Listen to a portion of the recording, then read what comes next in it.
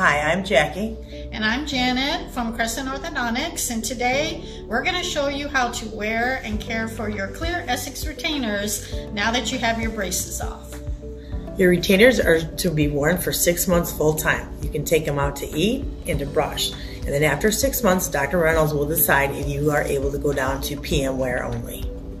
When placing your retainers in, line the retainer up with your front teeth where it fits and then press down with your fingers from front to back, making sure that the retainer is fully seated on the teeth.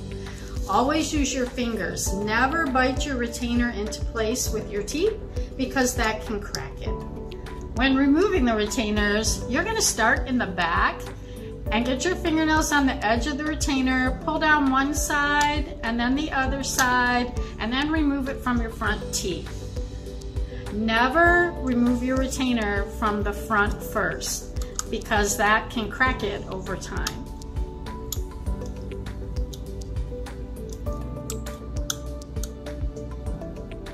To clean your retainer, you can use a soft bristle toothbrush and a little bit of mild soap. Just scrub along the inside getting it really good.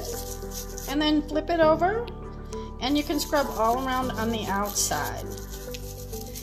Then rinse your retainer using cool water only, never hot water. Hot can distort the plastic, so you also never want to leave your retainer in a hot car or put it in the dishwasher to clean it or boil it to clean it. Okay, remember, never stick your retainer in a napkin or in your pocket. And never take it out and leave it sitting somewhere out of the case because it will get thrown away by accident or knocked to the floor and that's how your dog is going to find it. And dogs love retainers. They're like a rawhide bone to them. So remember, in the first six months, your retainer should only be in your face or in your case and no other place.